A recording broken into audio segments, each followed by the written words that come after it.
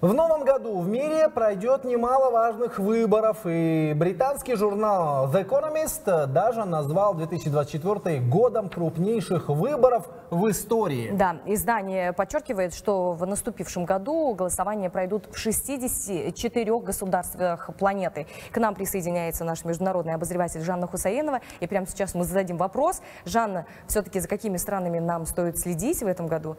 Где пройдут выборы? Доброе утро, коллеги. В марте в России, в ноябре в США, а в июне страны 27 стран членов ЕС определят, кто будет представлять их интересы в Европейском парламенте. А самые крупные парламентские выборы пройдут в Индии, где проживает почти полтора миллиарда человек. Подробнее расскажу в обзоре.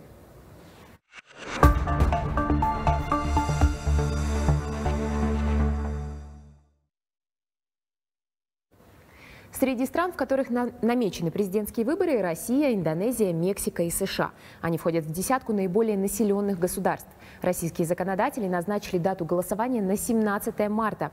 71-летний Владимир Путин уже сообщил о своем намерении баллотироваться в пятый раз. В случае победы президент России сможет оставаться в Кремле до 2030 года. А в соответствии с конституционными реформами он имеет право баллотироваться еще на два шестилетних срока после истечения срока нынешнего мандата. Я одобряю такой. Лишь бы здоровья хватило у человека. Много э, негативного на него валится и там, и там, и с одной стороны, и с другой. Но мне кажется, что так нужно для России. Понять не имею, но я бы на его месте, наверное, отдохнул больше. Там здоровье потянул. 70 лет человеку. Мне сложно сказать, что я чего-то жду. Я ничего не жду. На самом деле я политикой стараюсь не интересоваться. В США президентские выборы пройдут одновременно с выборами в Конгресс 5 ноября. Перспектива возвращения Дональда Трампа в Белый дом делает 2024 год взрывоопасным в мировой политике.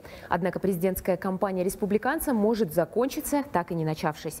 Верховный суд Колорадо постановил, что Трамп не может баллотироваться в этом штате из-за его действий перед штурмом Капитолия в январе 2021 года. А немного позже скандального политика отстранили от участия в выборах и в штате Мэн. Однако Трамп довольно довольно популярен среди населения и все еще может победить, если будет участвовать. Но решения штатов Мэн и Колорадо создают мощный прецедент для аналогичных исков в других регионах.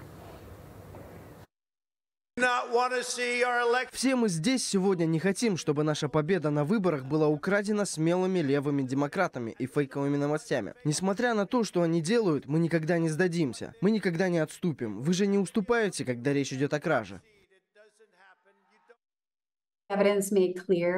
Я отдаю себе отчет в том, что ни один государственный секретарь никогда не лишал кандидатов в президенты доступа к участию в выборах на основании третьего раздела 14 поправки. Однако я также осознаю, что ни один кандидат в президенты никогда прежде не участвовал в мятеже.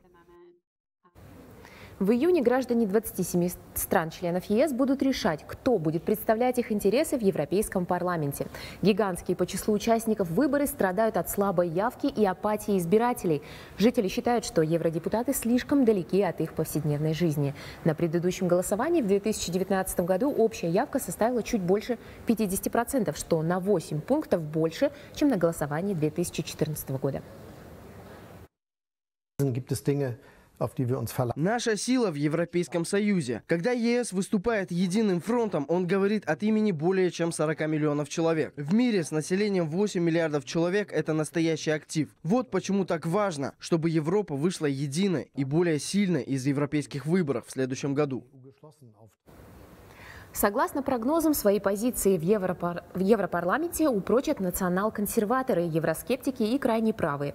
Выборы также решат, кто возглавит следующий состав Европейской комиссии. Ожидается, что нынешний председатель Урсула фон дер Ляйен выдвинет свою кандидатуру снова и произведет серьезные перестановки на высших должностях ЕС. Самые масштабные по числу избирателей выборы пройдут этой весной в Индии. Там будут выбирать членов Нижней, Нижней палаты парламента. В стране зарегистрировано около 900 миллионов избирателей. Ожидается, что Национальный, демократич... Демократический альянс во главе с правящей Индийской народной партией получит большинство мест. И премьер-министр Нарендра Моди сможет в третий раз возглавить правительство. Оппозиционные партии объединились в альянс «Индия». Инфляция стремительно растет. Безработица находится на рекордно высоком уровне. Молодежь отчаянно пытается спастись. Страна находится на грани анархии. В это время премьер-министр Моди занят принятием в парламенте бессмысленных законов.